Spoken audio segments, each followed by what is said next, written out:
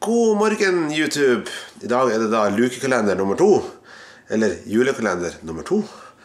Og siden, eh, siden det er snakk om adventskalendere, sånn, så tenkte jeg det at i dag så skal dere få lov å se hvordan eh, vi har julekalendere her i huset. Vi er jo to godt voksne mennesker. Vi har ingen barn. Men likevel så er vi litt så barnslige at vi har faktisk pakkekalendere. Jeg vet ikke hvor mange av dere som har pakkekalendere hjemme, men vi har i hvert fall en hengende her. Det er da damas julekalender. Jeg har vært veldig flink til å henge opp alle gavene. Dere ser det? Mm. Mm. Mm. Det vil si at jeg må bare kjappe meg og springe på butikken og handle pakker, tror jeg. Iallfall så er det det som skal hun åpne sin i dag. Det skal dere få være med på. Jeg, jeg er usikker på hva det er som er oppi. Jeg husker ikke hva jeg kjøpte engang.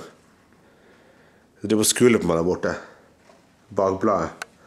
Alright. Så jeg skal gå ned og hente min egen pakke, så skal vi se hva, hva det er som er i dagens i luke julekalender. Så her, her er da min kalender. Her. Se hvor flink hun har vært. da Fancy schmancy. Herregud. Hun har sikkert hengt opp da helt til 24. Ja. Mhm. ja ja. Men ok, jeg får gå det. Jeg får ta min uh, pose nummer to med bilde av en snømann på.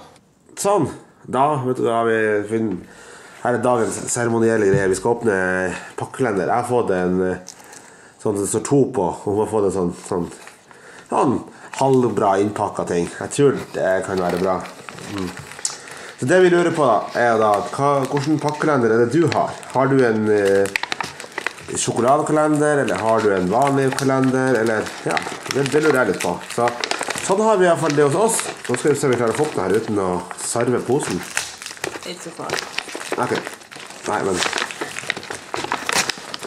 Det var teipa bra. Åh, jeg fikk en klementin!